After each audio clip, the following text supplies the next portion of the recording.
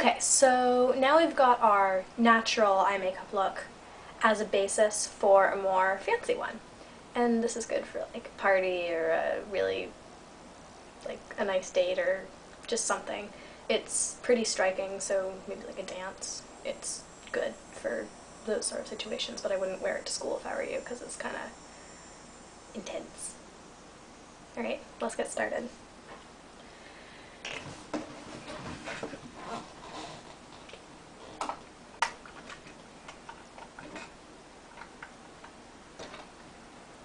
This is what you're going to need for today. We've got our dark and light eyeshadow, mascara, our sharp eyeliner, our magical makeup q-tip, and some cream eyeshadow. This is Revlon Illuminance cream shadow, and it's in the shades of purple. That complements my skin tone, but you can just do a quick Google search and see what kind of makeup works best for your skin tone.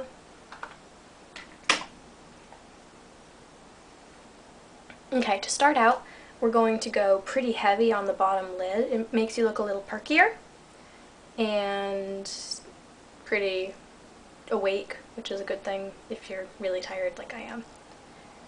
So we're just putting a little thin line going all the way down like this. You're going to want to smudge it up here so it doesn't look retarded. There you go.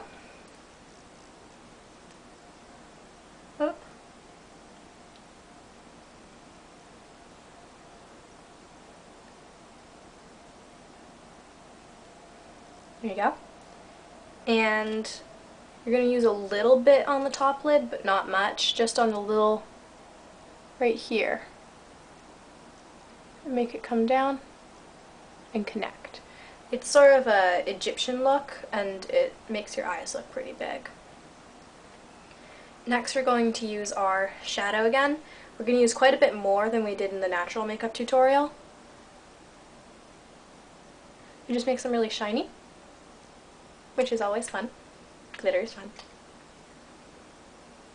Now we're going to use our cream shadow.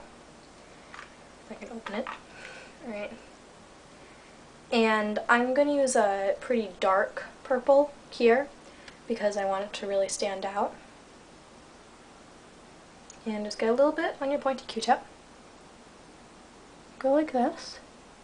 So you're outlining from like here to here in the eye in the cream shadow. And I'm going to use a little bit of some lighter colors too to blend it in. And another dark color. And it looks like that. Now that looks kind of weird, so you blend it in with the other end of your pointy q-tip. And finally some mascara. We're going to use some pretty heavy duty mascara. Just scrape off well, most of it, but you don't want like huge glops in your eyes. We're going to start from the bottom and work our way to the tips. If you have pretty straight eyelashes, I recommend an eyelash curler. It looks like a torture instrument, but it's actually really good and it works really well. I don't have to use it, but I've tried it and it makes your eyelashes go like whoop.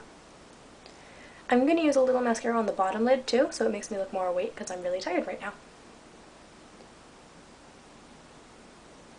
And there I'm just touching it on. I'm actually going to smudge it a little because that looks kind of weird. But, there we go. Now, I'm not going to bother doing my other eye because I'm just going to wash this right off afterwards.